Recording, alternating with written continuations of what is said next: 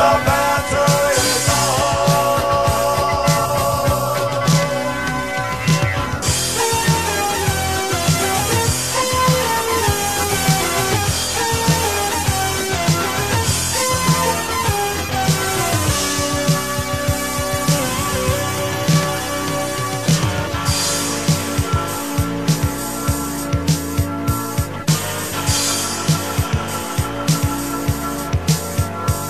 Know the things that you are listening to are coming from the Lord. The fact that Jesus gave his life to save the abundance of God's love.